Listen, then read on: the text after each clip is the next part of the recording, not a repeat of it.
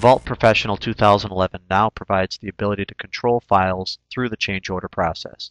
As a change order is created from the context menu, the file is included in the Records tab where additional files can be added later. The change order can then be sent through a variety of predefined change order routings chosen from a drop-down list. Now the files are ready to be submitted to the next stage within the change order process. Autodesk Vault Professional provides administrators enhanced flexibility to customize watermarks in order to meet their company's needs. Watermarks can be based on customized text or could be linked directly to a property within the Vault. Autodesk Vault 2011 provides the ability to page through documents that have been created as part of a design project.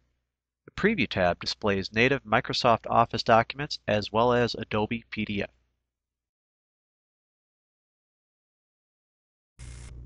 Pack and Go has been enhanced within Autodesk Vault Workgroup, Collaboration, and Professional 2011 to include a report on the data contained within the Pack and Go deliverables. Now when a user sends a Pack and Go or uses the Send File feature, they can include a PDF that describes the contents of the file they are sending and provide your organization with a record of what was sent.